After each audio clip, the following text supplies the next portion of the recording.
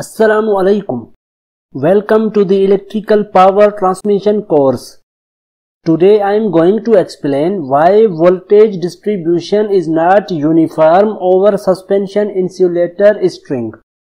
As we know that a string of suspension insulators consists of a number of porcelain discs connected in series through metallic links.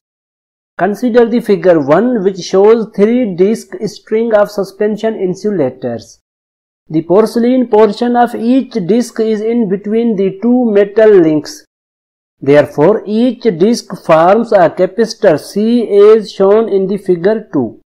This is known as mutual capacitance or self-capacitance.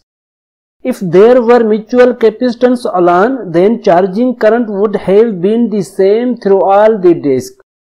Because all these discs are connected in series, consequently the voltage across each unit would have been the same, such as V upon 3, as shown in the figure.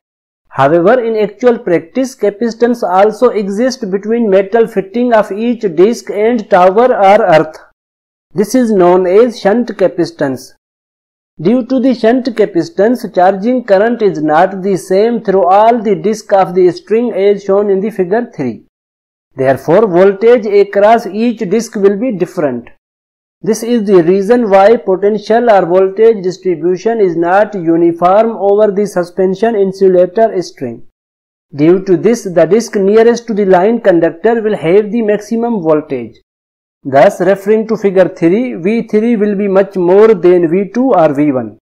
The following points may be noted regarding the potential distribution over a string of suspension insulators. The voltage impressed on a string of suspension insulators does not distribute itself uniformly across the individual disc due to the presence of shunt capacitance.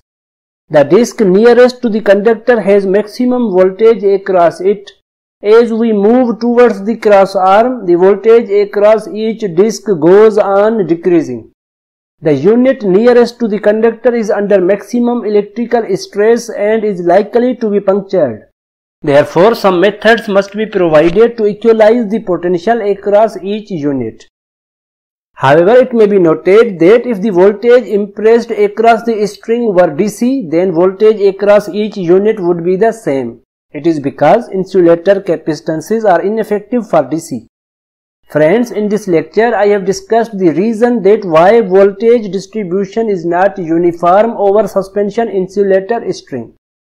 Furthermore, I have discussed what are the disadvantages of this unequal potential distribution across the suspension insulator string.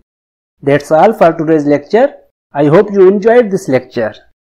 Friends, I upload many videos based on various topics of power system and motivation on regular basis. Therefore, don't forget to subscribe my channel in order not to miss my latest videos. And don't forget to share my videos with your friends and class fellows so that they can also get benefit from these videos. Thank you very much.